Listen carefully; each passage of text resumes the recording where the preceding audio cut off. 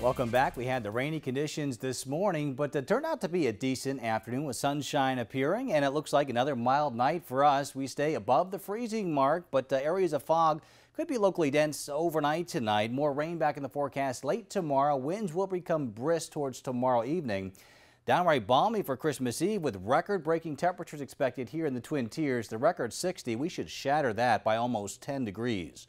48 the current temperature in Elmira with winds currently calm and Ithaca looking at a current temperature of 51 with winds light out of the southwest. Area temperatures elsewhere 48 Corning, 51 in Watkins Glen, 50 in Ridgebury and 50 in Towanda. So again a mild evening all across the Twin Tiers. 53 in Dansville, 52 right now in Syracuse, 53 in Scranton. Similar temperatures down towards Williamsport. Not much showing up on first warning Doppler radar. The showers from earlier today now well off towards the north and east. And as we fly down to the south and west, not much going on until you hit the Gulf Coast here. And eventually some of this moisture lifting our way as we go through the day tomorrow. Forecast for tonight, though, mainly dry, just some scattered clouds, areas of fog.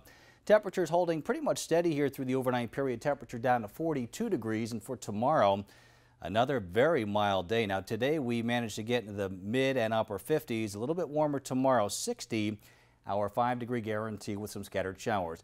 One of the neat things we can do with this uh, weather uh, system is analyze some of the computer models. I'm going to step off the screen for you here and do a little jet stream analysis for you because we're looking for some kind of signs of winter and see if it's in the offing anytime soon. And basically we're going to just draw in this jet stream for you have a trough of low pressure here over the west and a big ridging over the east.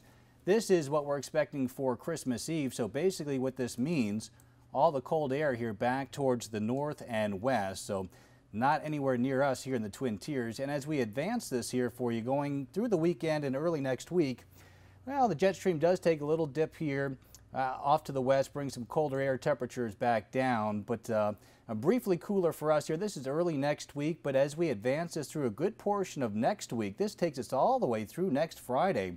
Boy, not a whole lot of change going on. Again, a persistent trough of low pressure here out west and a ridge over the east. So again, most of the colder temperatures staying back over the upper Midwest where you see those purple shaded colors.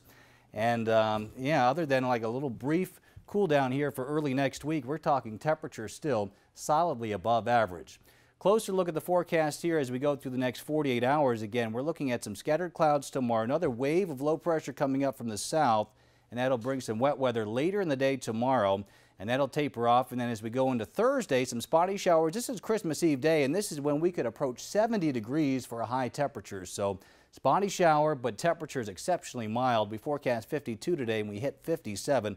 Close call with that 5 degree guarantee. Areas of fog tonight, 42 degrees, 60 for tomorrow's 5 degree guarantee. And as we look at the first warning 7 day forecast, uh, Christmas Day itself, 54 degrees with dry conditions. A little unsettled over the weekend. Briefly cooler Monday, but again, most of next week staying above average.